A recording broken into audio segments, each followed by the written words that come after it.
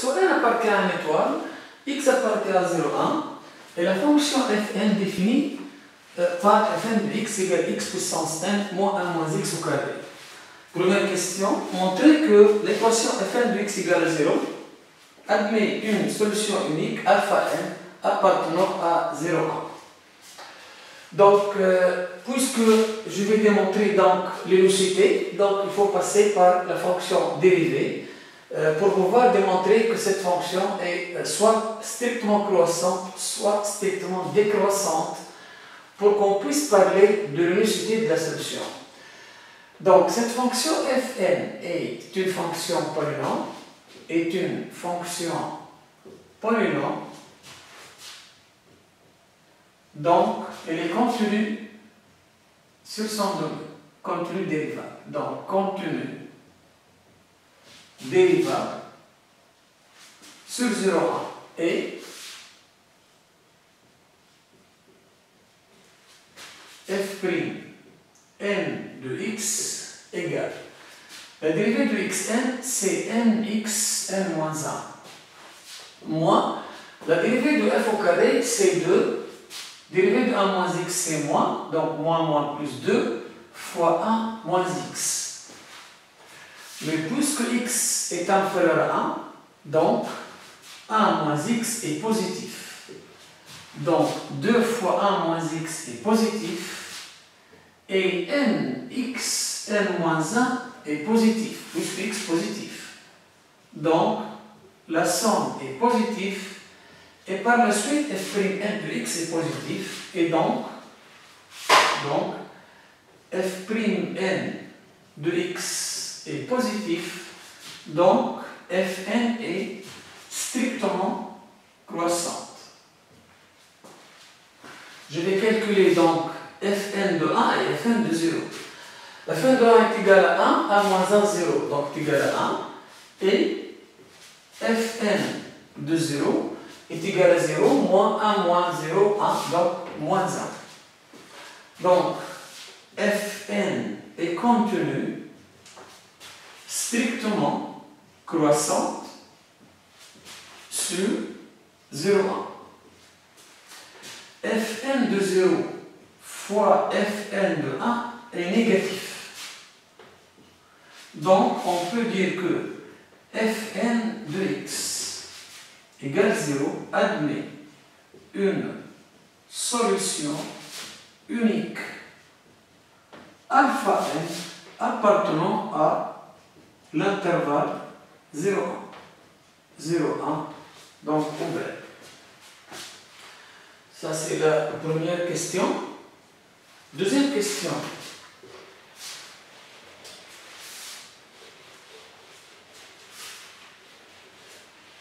Euh, deuxième question. Montrer que déterminer le signe de Fn plus 1 de alpha n Fn plus 1 de alpha n égale. Donc je remplace dans l'expression de Fn n par, n plus 1 et x par alpha n. Donc on obtient alpha n puissance n plus 1 moins 1 moins alpha n au carré. On sait déjà que Fn de alpha n égale à 0. Donc alpha n puissance n moins 1 moins alpha n au carré est égal à 0. Donc 1 moins alpha n au carré est égal à alpha n puissance n. Remplaçant donc 1 moins alpha n au carré par alpha n puissance n. Donc, fn plus 1 de alpha n. Alpha n plus 1, plutôt alpha n puissance 1 plus 1, c'est alpha n puissance n fois alpha n. Moins 1 moins alpha n au carré, c'est alpha n puissance n. Donc là, j'ai alpha n puissance n en facteur alpha n moins 1. Mais puisque alpha n est inférieur ou égal à 1, puisque strictement inférieur à 1 plutôt, il est entre 0 et 1, donc alpha n moins 1 est négatif et alpha n est positif donc alpha n puissance n est aussi positif. Donc, ça c'est négatif fois positif, donc c'est négatif. Alpha n puissance n fois alpha n moins 1 est alors donc négatif. Euh, troisièmement, petit a.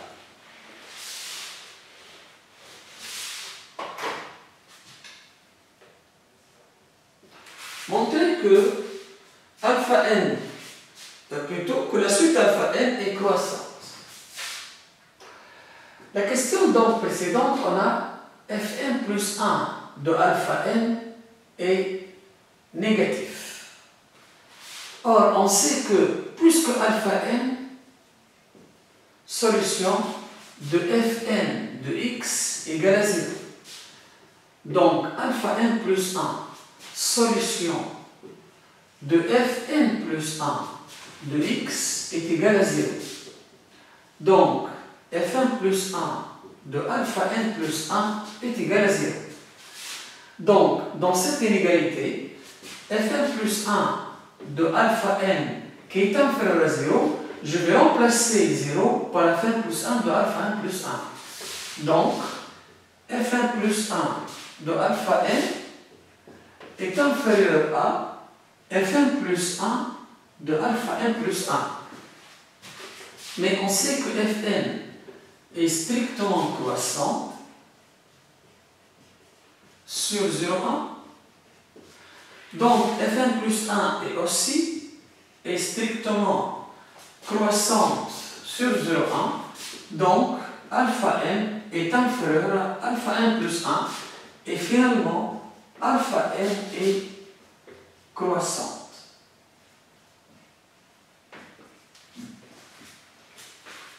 Ça, c'est la question euh, A. B. On déduit que alpha n est convergente. Donc, puisque alpha n est croissante, il suffit qu'elle soit majorée. Alpha n inférieur à 1, donc alpha n est majoré. Donc, alpha n est convergente. Et convergente. Quatrième question. Soit alpha, limite de alpha n. Donc, dans la quatrième question, posons limite de alpha n en plus l'infini est égal à alpha. Supposons que alpha est strictement inférieur à 1. Petit a, supposons que alpha strictement inférieur à 1 détermine la limite de alpha n puissance n. Donc si alpha strictement inférieur à 1, donc on sait que tout nombre encadré entre moins 1 et 1, sa limite c'est 0. Limite de alpha n puissance n en plus l'infini est égale à 0. Donc, limite de alpha n puissance n en plus l'infini est égal à 0. On déduit limite de alpha n en plus l'infini. Donc, euh, pour cela, la question B, donc,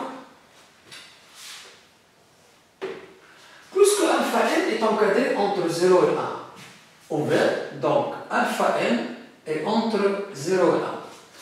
Donc, la limite de alpha n, qui est alpha, est entre 0 et 1, ou alpha tout simplement appartient à l'intervalle 0,1 famille. Alpha peut prendre la valeur 0,1.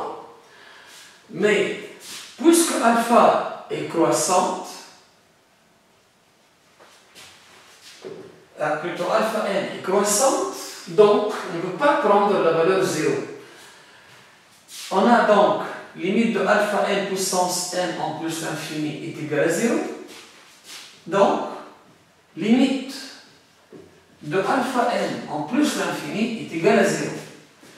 Mais alpha n est égal à 0 est impossible. Donc, la condition alpha, euh, alpha à A est impossible, puisque la limite de alpha n est égal à 0 est trouvée lorsqu'on a posé alpha strictement supérieur à 1. Donc, alpha n'est pas strictement, l'alpha strictement inférieur à 1 est impossible, et puisque alpha appartient à l'intervalle 0,1 fermé, donc alpha ne peut être que 1, ne peut pas être donc strictement inférieur à 1. La négation de alpha appartient à 0,1 ouvert, c'est alpha est égal à 1. Donc, limite de alpha n en plus l'infini est égal à 1.